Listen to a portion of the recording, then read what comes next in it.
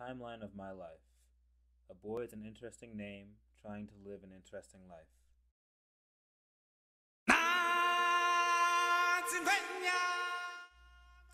I was born September 1st, 1997, in the city of Kalamazoo, Michigan. My family consists of my parents, Scott and Sherry Morris, my brother, Julian Morris, and I. I was born into a culture that is a combination of an African American heritage and a life in the suburbs. The circumstances that led to me being born in Kalamazoo, Michigan, were that my parents were seeking out and found job opportunities after they graduated from college. Their career and location choice taught me that it's important to seek out the best opportunities you can for yourself. However, nine days after I was born, my parents moved back to Georgia so that we could all be closer to family. This taught me that I should have strong family values and learn that family are the people that you can lean on. For a couple of years after we moved back to Georgia, I spent most of my time with my grandma due to my parents' rigorous work schedule. This showed me that a hard work ethic can pay off and will benefit the people around you. I was given the name Emeritus for specific reasons. The first reason is that my dad's good friend from college was named Emeritus. However, he passed away early from a tragic car accident. Second reason I am named Emeritus is because the actual definition of the word, which is having retired but allowed to retain their title as an honor. My parents still believe now that I am destined to do great things in this world and remind me every day. The first decade of my life, age 0 to 10, consists of the most important time for me developmentally. The first of Erikson's stages of developments in this decade is trust versus mistrust, or if needs are basically met, infants develop a sense of basic trust. The next stage is autonomy versus shame and doubt, where toddlers learn to exercise their will and do things for themselves, or they doubt their abilities. The third stage of this period is independence versus guilt, where preschoolers learn to initiate tasks and carry out plans, or they feel guilty about their efforts to be independent. The last stage of this decade is industry versus inferiority, where children learn the pleasure of applying themselves to a task or they feel inferior.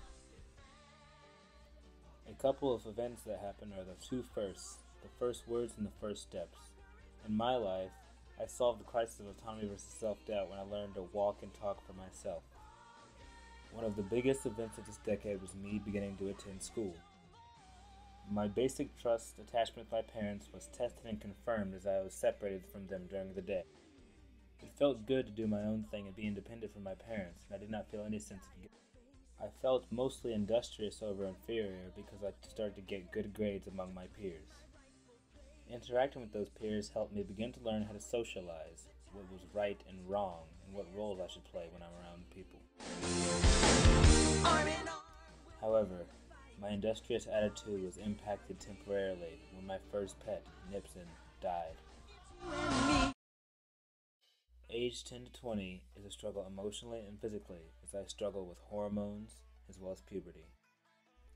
Although the stage of industry versus inferiority still lingers, the main struggle is identity versus role confusion, where teenagers work at refining a sense of self by testing roles and then integrating them to form a single identity, or else they become confused about who they really are. An event that induced some role confusion was when I changed from Hull Middle School to Greater Atlanta Christian. I had to change friend groups and also change schemas of ways I behave, act, dress, and other things that teenagers think are very important. My identity stabilized some when I began participating in middle school and high school athletics, especially the sport of wrestling, which is one of my true passions. I find myself eager to join my teammates in events that I do at school.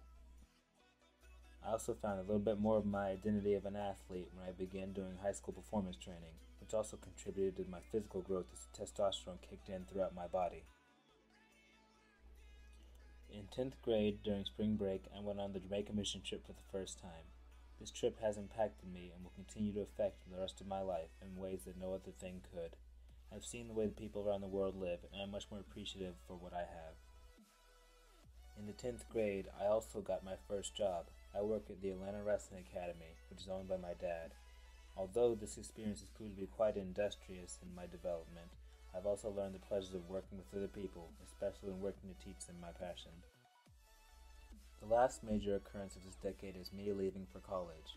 where again I will struggle with possible role confusion when trying to figure out the rest of my life instead of just the present moment. The next decade of my life, age 20 to 30, consists of two stages from Erikson as well as emerging adulthood. This period of my life has the end of identity versus role confusion and the beginning of intimacy versus isolation, where young adults struggle to form close relationships and to gain the capacity for intimate love, or else they'll feel socially isolated. The first major event of this decade is me graduating from college. I have figured out my identity and now I know the path I want to take in life.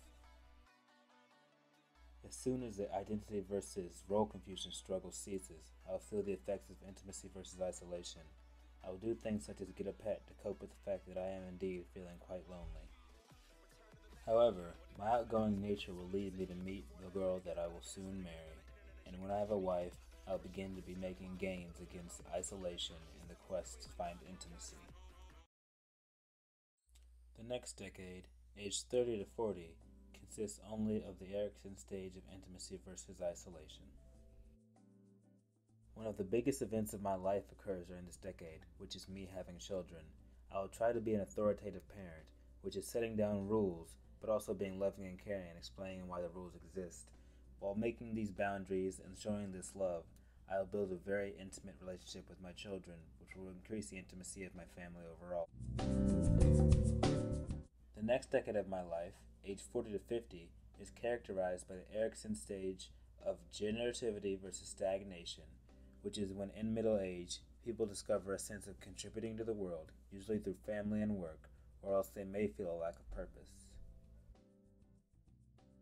At this point, I will actively be seeking to increase my generativity as I will try to climb my career ladder and gain higher and higher positions of leadership. At this point in my life, my children will also be of age to get a driver's license and become more independent.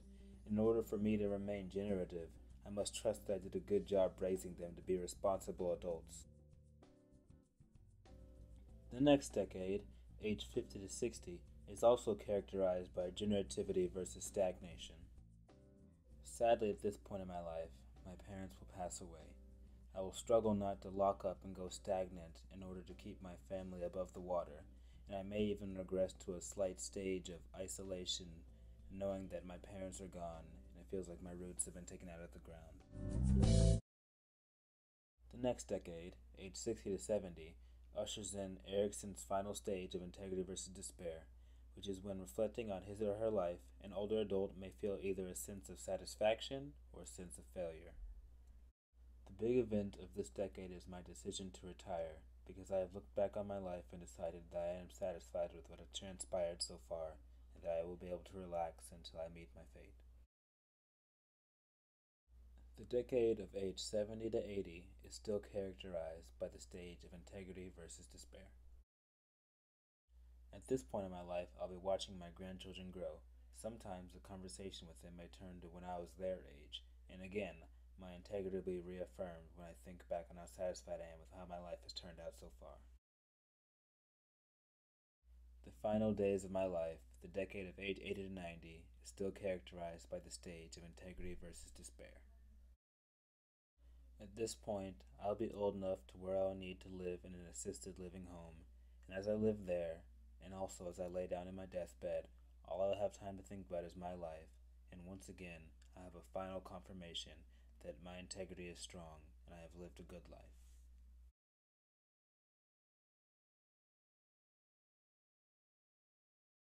And now, as requested in his will before he died, Emeritus's oldest child, Emeritus Scott Morris Jr., shall read the eulogy that he has prepared for us today.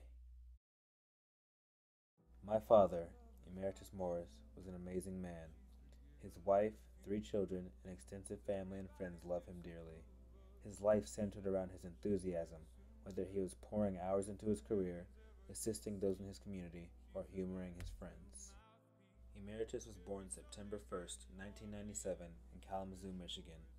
Only nine days after his birth, his parents, Scott and Sherry, brought him back to Georgia so that they could all be near the family. His childhood can be characterized as one full of energy and passion.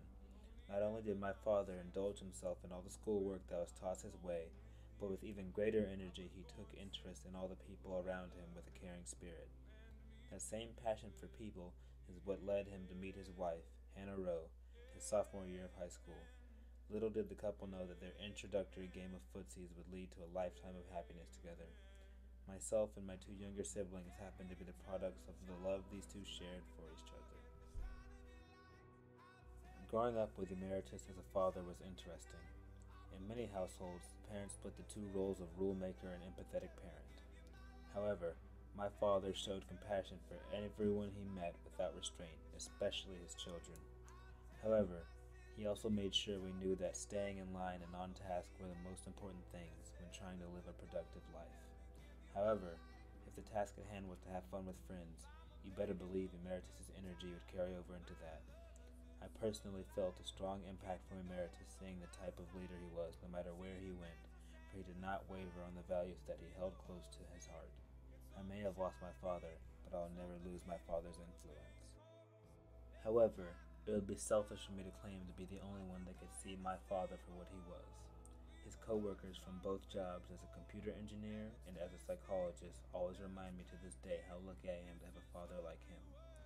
As an engineer, he was impactful in the way that we use personal technology such as computers and phones today. As always, his goal in the engineering career path was to make the lives of those around him easier and more satisfactory. For this reason, he moved on from engineering to counseling psychology quickly. My father was a firm believer that the greatest tool that humans will ever be gifted with is their mind, so he was determined to help his clients to keep peace of their mind.